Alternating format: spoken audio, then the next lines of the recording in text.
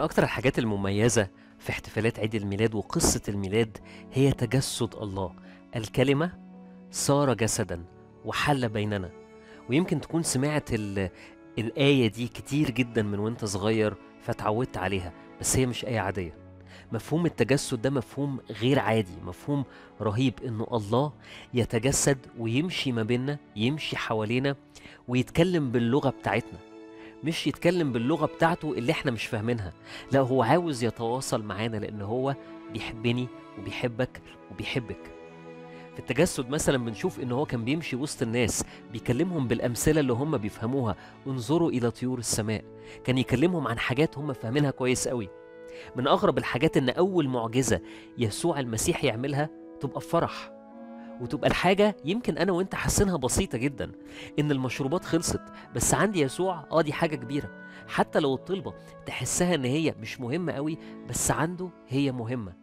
هو عاوز يتكلم باللغة بتاعتنا عشان عاوز يوصل لك محبة الله. بس لو أنتوا واخدين بالكم في الحلقات دي إحنا مش بس بنتكلم إن يسوع عمل إيه. إنما بصراحة إحنا بنتكلم هو بيعلمنا إحنا نعمل إيه في حياتنا.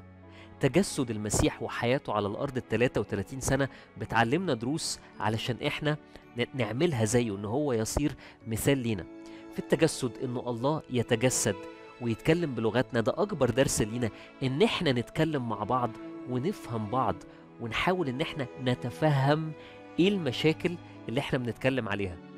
مثلا واحدة من أروع الأمثلة التطبيقية على الموضوع ده في أعمال الرسل اتنين إن في يوم الخمسين التلاميذ الرسل ابتدوا يتكلموا بعظائم الله بس بألسنة مختلفة.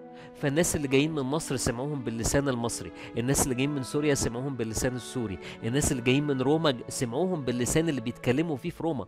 والناس قالوا كده قالوا إن إحنا بنسمع إن الناس دي بيتكلموا بعظائم الله بس بألسنتنا.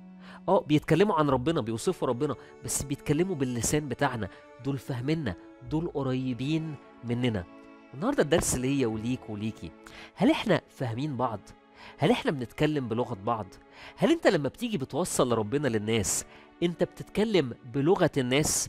مش ان انت تساوم في الحق مش هنغير في مين هو ربنا مش هنغير في مين هو يسوع المسيح مش هنغير في مفهوم الفداء. بس انت عارف مشاكل الناس؟ هل انت بتبذل مجهود عشان فعلا تتجسد وسط الناس؟ فتفهم مشاكل ابنك تفهم مشاكل الشباب. تفهم لغة الشباب تفهم مشاكل مراتك النساء بيعدوا بإيه؟ البنات بيعدوا بإيه في مصر؟ فتقدر تفهم هو مشاكلهم الأساسية فين؟ فتعرف تتكلم بلغتهم تعرف تتكلم بلغة واحد محروم من حاجة معينة يمكن أنت ما اتحرمتش منها فمش حاسس هو اتحرم من إيه؟ هل إحنا فعلا بنتفهم بعض ولا لأ؟ من أكبر المشاكل اللي أنا بشوفها بتحصل وسط الناس إن لا أنا فاهم أنت بتكلمني بتقول إيه ولا أنت فاهم أنا بتكلم بقول إيه. وصلاتي ليك النهارده وليكي ولكل حد فينا إن إحنا نعرف نعمل زي المسيح نتجسد فكل واحد يفهم التاني ويتكلم لغة التاني. من أكبر الحاجات الوحشة إن إحنا تتبلبل ألسنتنا فما نعرفش نفهم بعض ولا نتكلم لغة بعض. بس في اسم يسوع نفهم بعض ونتكلم بلغة بعض. فأنا بحط قدامك تحدي.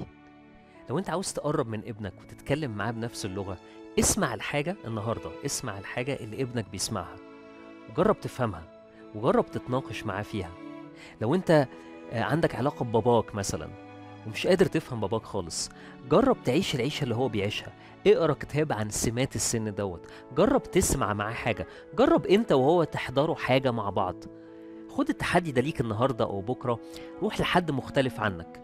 حد انت حاسه بعيد جدا عنك في أفكارك وحاول تسمع له حاجة هو بيقولها وفكر فيها. ربنا معاكم.